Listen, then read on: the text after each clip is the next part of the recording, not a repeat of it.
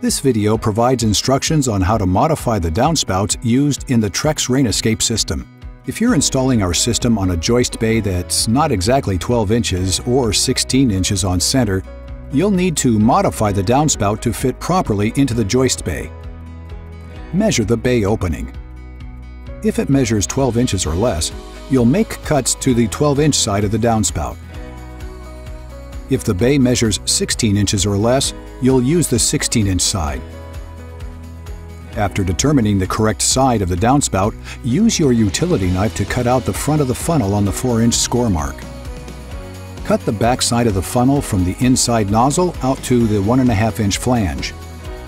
This second cut allows the funnel to overlap itself and fit snugly into the smaller bay opening. Staple the modified funnel into the bay. Use the Trex Rain Escape 4-inch butyl tape to waterproof the slit on the back side of the funnel. It's important to keep in mind that downspouts across several bays may be slightly misaligned depending on which side of the funnel you use, the 12-inch side or the 16-inch side.